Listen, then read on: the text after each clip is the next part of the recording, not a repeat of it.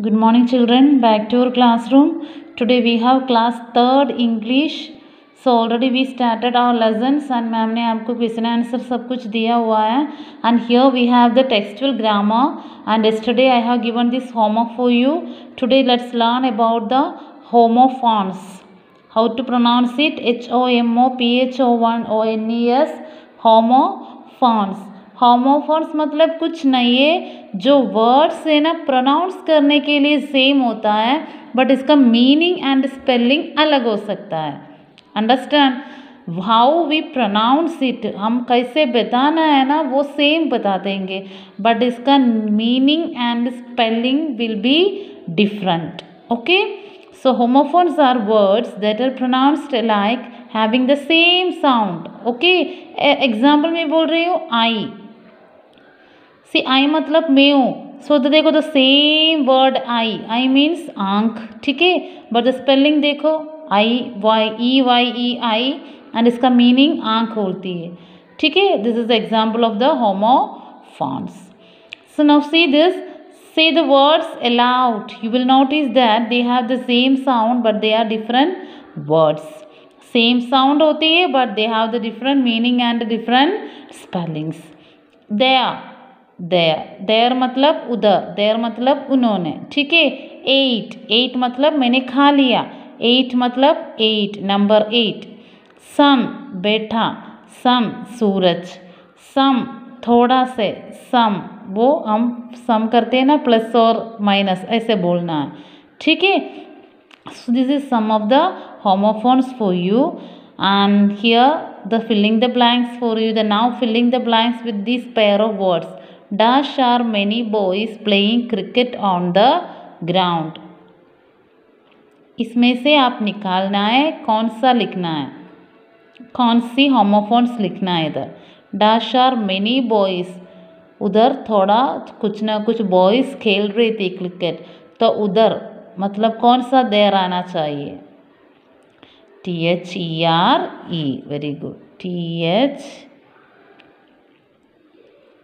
er sorry i am it's not running my pen here. So let's see the example.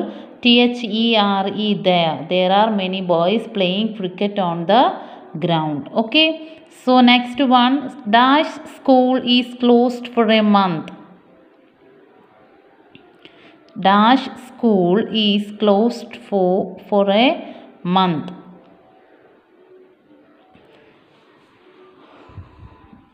किस, क्या लिखना है था कोई भी होमोफोन सा बोल देना सेम होना चाहिए।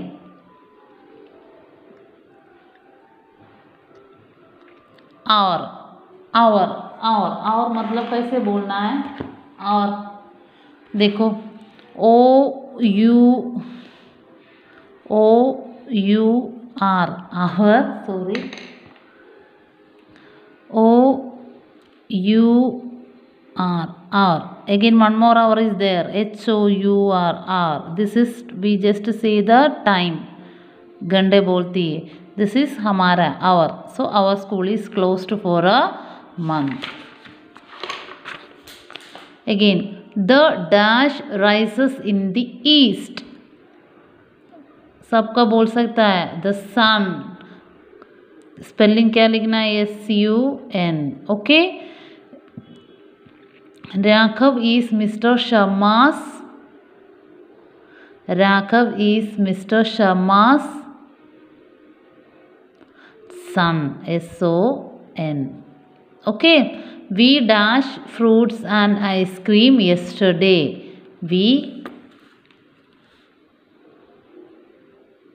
ate a t ate dash comes before nine nine number के पहले वाला नंबर क्या होता है? एट। तो दोनों होमोफोन्स देखो।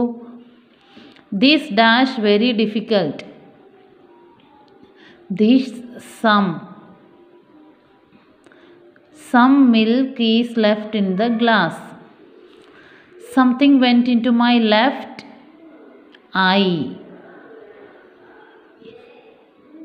I washed it with the fresh water. Understand? so this is called the homophones this you have to write down in the notebook okay english notebook में ये आपने लिखना okay before that you have to write the heading homophones this homophones definition लिखना है and this box you have to make and this the filling the blanks you have to write down thank you